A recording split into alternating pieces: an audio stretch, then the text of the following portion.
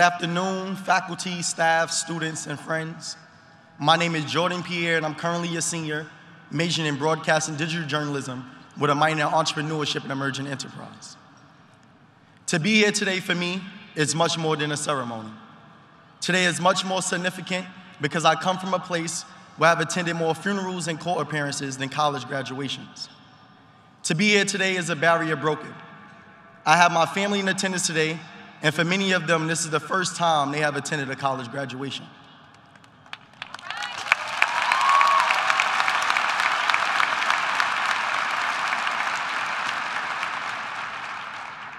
Earning the opportunity to walk across this stage required much more than just passing classes.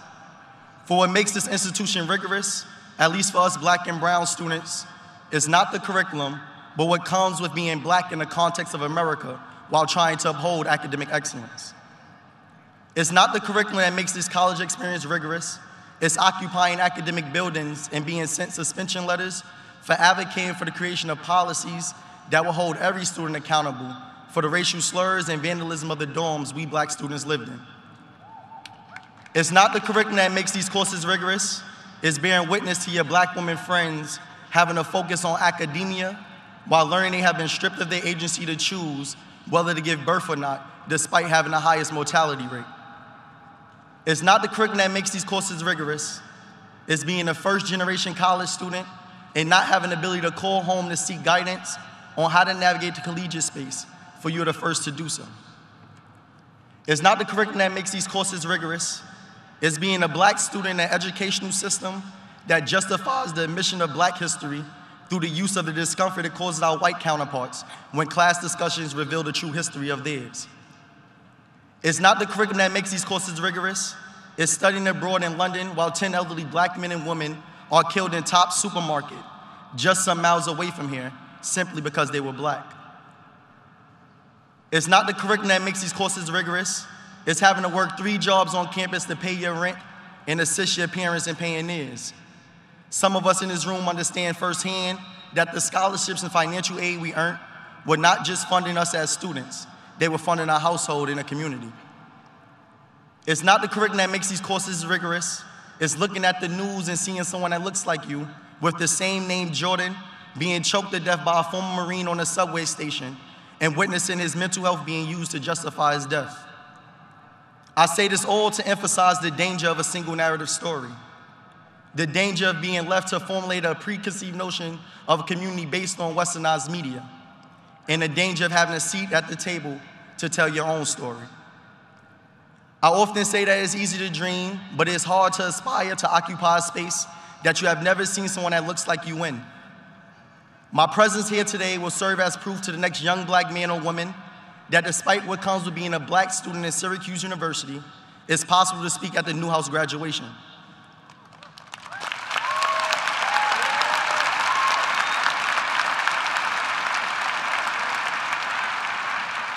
There was a time when I did not know what a student marshal was until last year when I met a black woman named Adudu, a student marshal at the College of Engineering and Computer Science.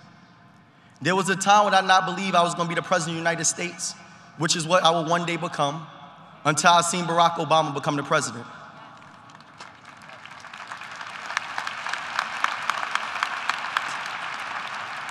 My presence today will stand as a symbol of inspiration for the black people who hear this speech will be able to see themselves in a position I am in and aspire to do the same. I challenge my fellow graduates who are not of color to be mindful and intentional with the stories that you share, normalize, and teach your children. For those stories are used to formulate a preconceived notion of who we are based on the narratives you teach and the environments you expose them to. I challenge my fellow brothers and sisters to also be intentional and thoughtful about the stereotypes we normalize and perpetuate amongst ourselves. James Baldwin once stated that if the world does it to you long enough and effectively enough, you begin to do it to yourself. You become an accomplice to your own murderers. We must ensure that we do not become that accomplice and use our platforms to empower one another. To Syracuse and to Newhouse, I challenge you all to take accountability for the trajectory the media has taken. It is not one we should be proud of. For if we take pride in being the number one communication school, we must also take ownership of the leaders and content creators for the media we consume. especially as we produce those who are the head of the newsroom. So we are only a microcosm of what the world will become. I challenge us all here today to denounce the stereotypes we have of one another, for the problem with stereotypes is not that they are untrue, but incomplete. As the legendary Nipsey Hussle once stated, the marathon continues.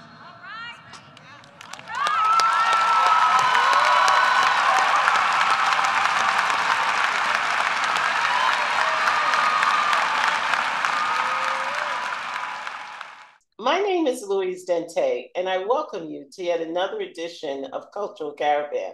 On this edition is a special, as we are joined by Jordan Pierre. He is a graduate of Syracuse University and also a previous guest on our show four years ago as he was still in Eagle Academy, Brooklyn, New York. Welcome back, Jordan. It's a pleasure. It's a pleasure. It's, it's great to see everything come back full circle. You know I mean? Four years before and four years after. And, you know, I think one of the key things here is you basically had to take all of the info things that you learned as being a student and use that. How did, was your um, impact of your training prior to going into college helped you to deal with college life? So my impact of the training, you know, like what I did prior to get in Eagle Academy going into Syracuse, um, the importance of understanding first your identity. Um, going to an old boys school like Eagle Academy, we was divided into houses that was named after six prominent black leaders. I was a part of Ronald McNair, and I had to understand the history of who Ronald McNair was, but also the history of all the prominent black leaders in which the school houses were named after. Um, understanding your history. There's two forms of education, right? I was reading the um, book Miseducation of the Negro by Carter G. Woodson. And the first one is the one that's taught within the classroom. The second one is the one that you learn through self-pursuit. And the, the latter is usually one that's more important. So as you learn them, and at the latter, when I say the pursuit of your own history, that's understanding Black history. There's certain dialogue and conversation that would not be held in the classroom around Black history, um, understanding our contribution to the world, and knowing that everything started with the Black with Black people. So um, it's like reinstalling our agency, understanding our identity, where it is that we come from, because we are victims of not only a stolen legacy, but also being stripped of our agency and our form of identity. And I often say that there's uh, the way to make a, a man or or to make someone assimilate is two ways. One is either strip them of their history, and the second one is to prevent them access to it. And unfortunately, we just happen to be victims of both. So we have been limited exposure to our history. We also have limited access to it. Tell us some of the challenges that you've seen other students of color um, have in terms of navigating a new environment. I mean, the first one is when we raise, we raise in environments, and I don't want to say we. When I say we, young men that come, young black men and women of color, or, or black specifically, when we are raised in certain environments, um, that's like low income households or, or poverty driven neighborhoods, we live in an environment that don't necessarily reaffirm us in our vision. So in many ways, it's uh, when we hear the older generation speaking upon the things in which we do now, you start to understand that we first have to understand the system of accountability because we learned from someone right? And when you raise an environment where it's not necessarily reaffirming your vision, it's hard to maintain a form of self-efficacy. What self-efficacy is a firm confidence in your capabilities and your your your agency to make things happen, right? Um, so it's hard because you're in an environment where you don't where everybody else or you learning more about what you should not do based on the actions that you're seeing rather than things that you should do.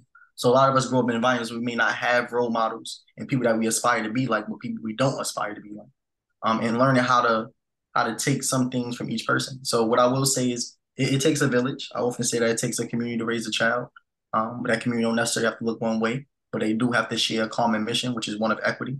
So one of the struggles that I see young men first face is being in an environment we feel like we don't have any um, form of assistance or those that's willing to to guide us. Another thing I would say that a lot of young men face, um, in many ways, is spaces where I felt it as well, where you don't necessarily feel reaffirmed in your existence and your agency we have a common quote that we hear a lot of people say, which is be mindful how you treat those on your way up, because those are the same people you're going to meet on your way down. But the way in which the quote should be worded is that you need to be mindful how you treat children on your way up, because those will be the same children you meet on your way down. And we are in a time period where we have access to much more information at a younger age. So we're going to get to certain places and plateaus that it took y'all longer to get to.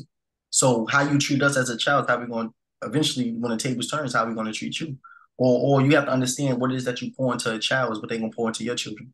And many people have said it in different ways. I say it in my way, which I'm saying is be mindful how you treat children on your way up because those same children gonna be on your way down. But we heard Tupac say it, and the way he stated was the hate you give. Um, and it was thug life, and it was like the hate you give little infants comes back to f everybody. Mm. Um, in that sense, he's saying what you pour into a child is what's going to be poured into the world. You, it's hard for you to te- to love when you haven't been loved. It's hard for you to be courageous when you never seen someone be courageous. It's hard to learn how to treat a woman right when you never had a male figure in your life to learn from the example to which they treat a woman. So that that was one example, but we heard in many different ways to which you see it exists. And then there's an African proverb that says, "A child that does not feel embraced by a village will burn it down to feel its warmth." Mm. And I think that's what we're living in right now. We see young men, mm-hmm. um, we, we might be killing each other and things like that, but it's all in regards to feeling seen and feeling loved. Mm. You know what I mean? And if you don't reaffirm us or we don't get reaffirmed in the positive things, we're going to turn to outlets that reaffirm us in general. It's not about whether it's right or wrong. It's just being feeling seen and feeling like you love. So whether that's in the street, you see it. Whenever we have a fight or a confrontation, how much we reaffirm that, oh yeah, he like that. They they are reaffirming all the wrong things because all the space that we're supposed to be reaffirming our young men in the positive things, they're not doing so. We have mm-hmm. teachers, educators that's making students feel as if it's unattainable to mm-hmm. achieve, to even attend Syracuse, to attend Harvard, to attend mm-hmm. Yale. Mm-hmm. Nonetheless, we talk about affirmative action. So we live in a society where, you know, what I mean, it, they are making different steps and efforts and taking measures to eradicate our presence. So we don't feel love, we don't feel seen. So in many ways, that is the the byproduct of what we see today. The what we see today is a byproduct of that system that's not pouring in love and support of children. As you know, just recently, the Supreme Court voted down affirmative action, um, which was for some a way of getting into doors that were previously closed due to racism. What do you feel about that? Any you know any yeah i share my thoughts so one thing about affirmative action um one i, I charge a, a, a i charge a, a, system of accountability to those that are journalists that are of color um it's our role no matter what spaces we occupy to use the knowledge we have obtained to further the progression of our people so as journalists um we start to understand that in media they use certain vernacular and diction where they speak about certain topics so that we don't understand it right um affirmative action I didn't know what that was until I did my own research and I had to utilize my platform to educate my peers. Affirmative action is only bills and policies in place to ensure that there's equitable enrollment and admission into collegiate spaces. Now that that's no longer something that it's, it was only a system of accountability and a criteria to hold people accountable to. Now that we no longer have that system in place, you use Syracuse. Syracuse, you ask them or any institution, how many black students do you have enrolled? they're gonna tell you the rate and the percentage of students of color. Students of color is not black. That's different. Two different things. I don't know who you categorize as people of color. I actually, how many black students you have enrolled. But now they already did not keep the statistics. Now they have a now they don't have to be held accountable for not doing so. You feel me? So in my ways, I feel like that was a that was strategic, but we also have to understand who benefits from our political absence. The reason why I said I aspire to become the president because I understand the the effects of us not being politically um, knowledgeable, for us not having the seats of power. Because policy, um, we fail to accurately understand or effectively understand what policy is and law. And if you want to live in America as a Black man, you need to understand law. Your speech, powerful speech you made at Syracuse University, really reverberated across the country and perhaps the world. Tell me about what inspired you and what has been the impact of this speech in your terms like that just talk to us about that for a moment uh, i wrote the speech two years ago during my junior year full semester as i was all coming to alpha at that time that spring semester prior to the fall i had witnessed what the black graduation was which is something that we have at syracuse which is a graduation catered towards students of color specifically and then we have the graduation with the school which is of everyone um, when I seen that as a as a junior, go, well sophomore going into my junior year, I, I wrote down my goals. Right, that's something that we do as alphas. Write down your goals, the things that you want to achieve prior to graduating. One of the goals was to speak at the Black graduation. Um, there was a time period where I just had time, and, and God uses me as a messenger, and, and words came to paper. And one of the things I wanted to speak upon was the existence of what it is that we have to face outside the institution, and that's when a rhetoric and a poetic strategy or technique where I kept saying it's not the courses that make this experience within this institution rigorous. It's being black in the context of America. Then I broke it down through different instances explaining what that context of being black in America looks like outside of the institution. Um, and then so I, I started that my junior year. As time progressed, as you can see, because if you listen to the speech, I mentioned things that happened at different time periods. I mentioned Roe v. Wade. That's more recent with Ron DeSantis, but also was happening two years ago as well with the conversation started. Um, I mentioned the Buffalo shooting in, in Syracuse, uh, in Buffalo, the Buffalo shooting at Tops Supermarket. I mentioned that. That was when I was studying abroad this past summer in London. I had stopped the class and actually had to make sure the teacher had a conversation around that. Then I spoke about um, I spoke about Jordan Neely. That's more timely. That's something that occurred recently. I spoke about financial aid and different things that happened within a two-year span. So if anybody listens to the speech will understand that there's no way I could have wrote that speech today because I had to, I wrote different parts of the speech as if I, I forgot what type of book it is, but when you write different parts of a speech in, order to make it a, a cohesive one piece, right? So that's exactly what that speech was. Um, I wrote that year two years ago. So now fast forward to my senior year, I I I learned that I did not um, get selected to speak at the Black graduation. He formulated a student committee of Black students, of students of color, and they didn't pick me. I felt the way because I felt like as a young man on campus that had been building Black congregation, use my platform as such. There's no way that when I wrote in my junior year by default, I knew I was going to speak at Black graduation. Like, no way I don't speak. I'm the face of Syracuse. That's just what it is. And when I learned that I didn't speak, I was mad. Uh, I'm like, how did I not get chosen to speak by my own people for the black graduation? Yet Newhouse, which is predominantly white, felt like I was adequate enough to hold that mantle. I called my homegirl Ari. I asked Ari, I said, Ari, how do you know when God is redirecting you from when he's putting you position of role? She said, when you put forth all your effort and the outcome is still out of your control, that's when you know God is redirecting. Because nobody could say, Jordan, that you should have done anything else for Syracuse. There's nothing else that you could have done to solidify that spot. You did everything plus some. So I understood that. I said, that's a good one. I like that, Ari. She said, just because you have been loyal and faithful to the institution does not mean that what you envision as a reward for the work that you have been sowing is what God envisioned. So don't think that often we have prayers and when we pray and we have an idea that we want to manifest out of those prayers. But a lot of times those prayers may not be in alignment with what God wants from us. So she said, after hearing which the context of what you want to speak to, I think that your speech actually would be more powerful in front of the Newhouse graduation um, audience, which is white people, and not in front of the black graduation, because it's like we heard that before. Don't cast your pearls amongst swine. We heard that before. So if you say it amongst the demographic, it will evoke much more dialogue. And she said maybe God is not asking you to change your speech, but to say it amongst a different demographic. And at that time is when when she said I went back to that speech I wrote two years ago because at first I was going to write a whole new speech. I went back to that speech two years ago, and um, that's the speech that I said. I changed a few things to make it more timely with Jordan Neely, Roe v. Wade, things like that that just happened more current, and and that's what came to fruition. What has been the aftermath of um, whatever you care to share of the world's of of listening after listening to speech? What has happened to you? My life has definitely changed. Um, I've increased a following. I've built a village of people that's in support of my narrative of understanding this fight for equity.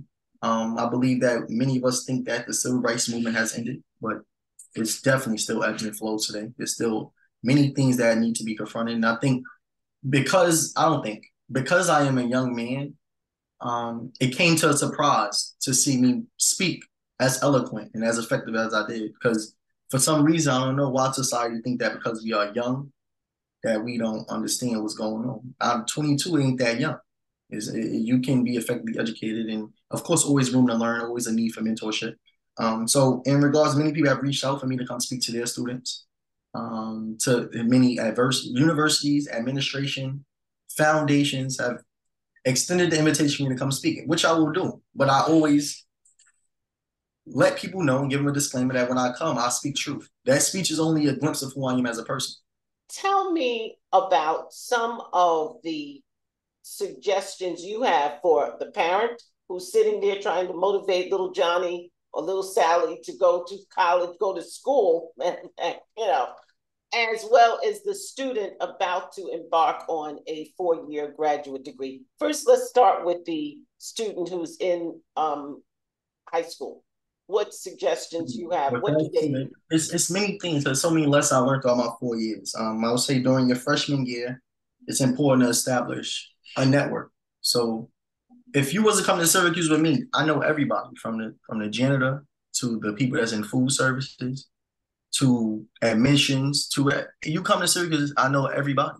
And you have to be strategic and intentional, understanding that wherever spaces you occupy, find those people that can be in your supportive cast. Because there's gonna be times where you question your identity, where you question your belonging. So find people that can provide you that reassurance and understanding that you do belong here during times of questioning. So that's the first thing I'm going to say is find those that serve as those mothers away from home, those fathers away from home, that family members and relatives away from home. Because many, definitely, if you're going away from school, even going to any school, you need to find a network that's going to be there that will serve as your village to reassure you during times where you may not feel a self a firm sense of reassurance. Um, that's the first, right? That was my first year experience. The second one is I would say embrace fear. Um, no matter as you continue to like, I, am scared. I'm not gonna act like I don't have a fear of the consequences that comes with being unapologetically black and speaking truth. Because I've seen what happens through history. Any of our leaders that spoke that is is an all time threat to America. So I already know what, what's to come. But what they say is courage is not actions that made in the absence of fear. It's, it's courage is the actions that's made in the midst of fear.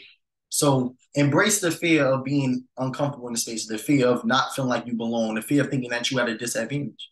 Because in those moments where your courage will show. So what I want you to dream big, but make sure you reaffirm yourself and don't allow nobody to deter your focus or make you feel like your dream is unattainable. People put an applause on the amount of they put a they put a cap on the amount of applause they give you, but never on the amount of criticism. There's a time where many people tell me, "Oh, his head too big." Don't don't don't gas him too much or don't give him too much of the applause. His head already too big. But they never put a cap on the amount of criticism they give you. They had criticized you forever, but they had never they they had cap how much applause they give, but never the amount of criticism. So that's what I would say to parents: reaffirm your child, understand the importance, because um, tables to turn. That's inevitable. And then for everybody, I'll say, like I stated earlier, is that it takes a village, and that village don't have to look one way, but we must share the same mission, which is that of equity if you had an opportunity to tell your parents something to thank them for what they've given you, what would you want to say to them right now? My parents. Ooh, I got a village. I got to name a couple people. But my mom, I would thank her for always keeping me a compassion. I never seen my mom ever close the door, turn her eye, turn her back towards anybody. She always had open arms. Like I never understood how my mom would do that. I didn't see any things that and people do certain things and try to use it, and she ain't never ever hold no type of grudge or stop showing love. And I think that's important. It's something that we don't see often today where people try to encourage you to, to cut bridges, leave those behind that can go with you. My mom ain't never, I never see my mom do that. Then when I say to my stepfather's discipline, I wouldn't be the young man I am today. And the importance of fathers. There's some things that only a child can learn from their father. A woman have been doing a great job, but there's some things a child can only learn from their father and understand the importance of all this. So I would say to all my black men, the biggest things I always advocate for is to understand that you contribute much more to this world than just money. Don't allow no woman or any force in this world to make you think that the only contribution you make to society is monetary. You contribute wisdom, love, support, and guidance. And we need you. You know what I mean? It's, that's that's another thing that's going on today. A lot of the young men we don't have fathers. I need my pops. I thank my stepfather and my father every day. My stepfather took on a role of raising a child that wasn't his and effectively educating me how you navigate this world as a black man. In my family. Mm-hmm. They came to my graduation. We all wore these shorts, right, this shirt right here. And it says mm-hmm. on the bottom, mm-hmm. I can't fold because I have a community dependent on me. Wow. And that day, that was the most that was the most memorable part for me. Is seeing I can't fold because I have my community dependent on me. I had my family. They came on a party bus, mm. 30 deep. We all was there. Everybody. I'm the only black family probably in Newhouse at that speech. Wow. But to understand how important it is to know that you got people in your corner. So if it come down to it, I know I got my my kids. Beautiful. And that's something, a foundation. So we see you, we see your family, we see your ancestors. You are the sum total of that. And that's why it's so important. So we want to not only acknowledge your work, but your family for providing, as well as your extended family, for providing you with the platform of which you proudly stand. And um, I just wanted to, for those who want to know, what is the next step for you at this point? You've gotten your step. Yes. Yeah. The next step I am in graduate school. Um, I feel like that's a way of God keeping me grounded. Despite all that's going on, I still have something I need to fulfill. Um, so that's one. The second thing, I have different initiatives that I'm going to build back in Brooklyn. One of the biggest ones I want to do it. I call it a. I want to do I'm gonna say expo. At first, I was saying black male expo, but I do want black and black men in one actually, and I want to do it on Tompkins Avenue. I want to bring I want to show how we exist outside of the narratives through media. I want to bring doc, black doctors, black lawyers, black entrepreneurs. I want to bring everybody black. And I want to, and my role is to be to bring the youth. But I just need to get the older representation for us to understand how we exist outside of what we normalize. We are not just entertainers and athletes. We are much more than that. And I want to, I want to show the youth that come from where I come from that it's much bigger than what we've been exposed to. And the last thing I'll say is that there's two forms of incarceration. The first one is be a victim of limited exposure. And the first one is actually be incarcerated. The second one is be a victim of limited exposure. And coming from where I come from, we have been victims of limited exposure. So the the, the importance and power of exposure is something that we've been um, not placing the right value to. So you gotta you can't try to get a young man to change his actions while keeping him in the same environment to which he adapted those characteristics in order to survive. So for me, exposure is important. I'm gonna bring the exposure here. I want to be a talk show, also the president. And the president, I want to be the president to show the world that you could do it. Uh, Barack Obama gave us hope for sure, but I'm gonna go in there. I'm gonna show that it's possible to come from Brooklyn, New York, Gates Avenue, low income community, and make it happen. Well, you know, let me just say you have walked the walk, talked the walk, and shown us an example of a strong young man standing on truth, standing on history and culture. And that's why we are proud and the world is proud in acknowledging you. So I am very, um, very excited for you um, because I know that we need those bright lights of hope that you instill and you've shared with lots of people and you will continue to share. And you know that you have a home here with Cultural Caravan because we are so thankful that we had a chance to meet you back as a undergrad before you got there and that you're continuing to do the work.